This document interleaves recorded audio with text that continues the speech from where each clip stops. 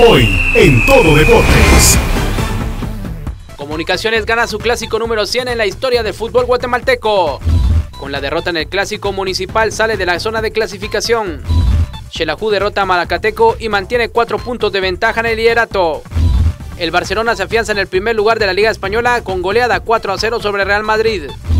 Y la Juventus de Turín sigue en alza en la Serie A con la victoria sobre el AC Milán.